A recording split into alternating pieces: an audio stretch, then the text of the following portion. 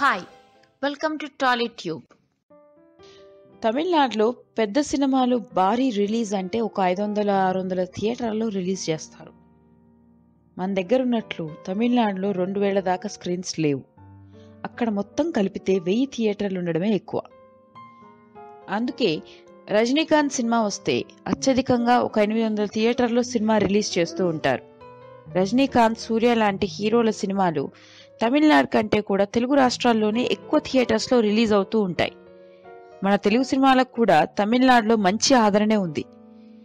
చెన్నై లాంటి చోట్ల కూడా మంచి క్రేజ్ మధ్య సినిమాలు రిలీజ్ అవుతూ ఉంటాయి.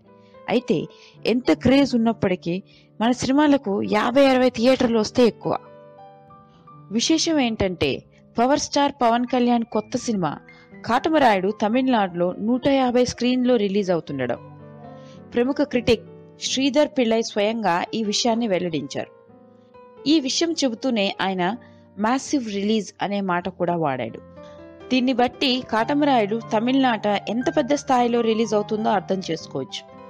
తమిళంలో ఒక చిన్న సినిమా ఏ స్థాయిలో రిలీజ్ అవుతుందో పవన్ తెలుగు సినిమాని నేరుగా అన్ని థియేటర్లో విడుదల చేస్తున్నారు. అందులో ఇది తమిళ హిట్ మూవీ వీరంకు రీమేక్ అన్న సంగతి మనందరికీ తెలిసిందే.